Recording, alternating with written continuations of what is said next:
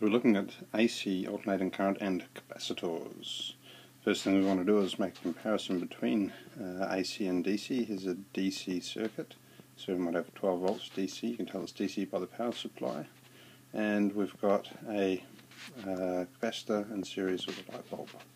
Um, in this situation, the light bulb would briefly light up, but then it would stop because as the current uh, no longer flow because the capacitor has a, a, gap, an actual physical gap, stopping the current from flowing. In an alternating current circuit, um, you have, could be 12 volts, could be whatever, but it's alternating current.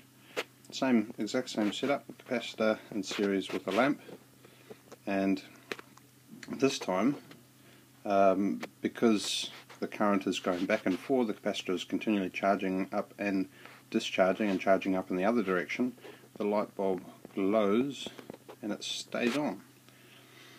Okay, um, now it's really important to understand the reason why this uh, stays on. The um, lamp stays on because current continually flows. In fact, if we're being really precise, we'll say current continually flows through the lamp. Okay, so the capacitor uh, is like a bucket of positive and a bucket of negative, and as the current flows, it's continually filling up and unfilling each of those buckets. So that allows a continual current going back and forward through the lamp to light it up. Whereas in the DC, you fill the buckets, and that's it no more current flows. There's nothing flowing, the buckets are full. So that's why you can maintain current flow through the lamp, making it light up. Alright. Um, now, interestingly enough, in an AC circuit, so we're not dealing with this anymore, we're dealing with uh, the AC circuit, if you measure the voltage across the capacitor compared to the current, that's RMS current in the circuit, you will get a nice straight line. It's meant to be a straight line. And similar to Ohm's law, equals I times R, where R gives you the gradient of uh, for this is for voltage and current in DC across a resistor. Um, the gradient gives uh, a, a, a quantity which is measured in ohms because it's the same voltage over current, R equals V over I. Um, but we call it uh, the remember this is for a capacitor. We call it the reactance of a capacitor and we give it the symbol X with subscript C to show it's the reactance of a capacitor. You can get reactance for other things. Now, what this means, this term reactance, and especially with the symbol ohms, is that it has some impedance, impedance or ants, impedance, that seems more right, um, that impedance which impedes the current or, or affects how much current flows in the circuit. Uh, if, if you have a, a greater reactance, less current will flow for the same voltage. So you have less current um, for the same voltage, uh, was the same voltage at that point there and there. Um, and you can have more current for the same voltage if you have a lower reactance. Okay, so um, this this idea of impedance, a resistance is a type of impedance, which impedes the flow of electricity, the flow of electrons, and reactance is also.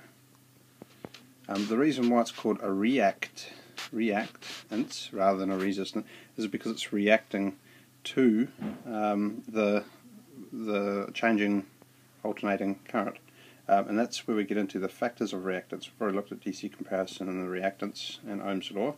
Uh, actually, one further thing to say is you can rewrite um, Ohm's law um, for reactance, VC equals I in the circuit, which is RMS again, times XC, since the units are the same. So that that gives you the formula. But anyway, as we were saying, the factors that affect reactance, we've said um, the alternating current uh, affects it. If you increase the frequency, there will be less impedance.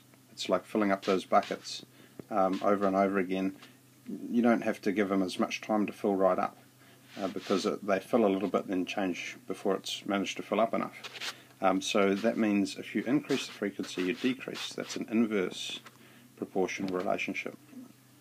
Um, and it also makes sense that if you um, if you uh, increase the size of the capacitor and make the buckets bigger, so that you can fit more charge inside them, then um, which is increasing the capacitance, then that's going to make it uh, easier for the current to keep flowing as well. So, so the reactance, the impedance to current flow is also inversely proportional to the capacitance.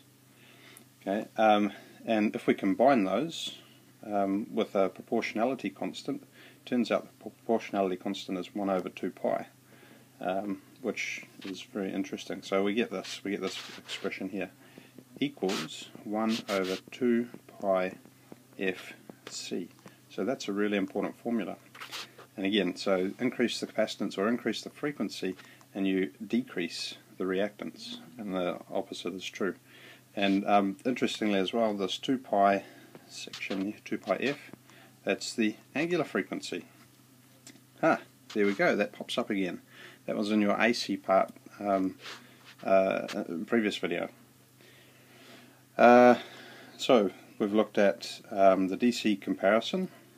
You can see that current flows continually in an AC circuit with a capacitor.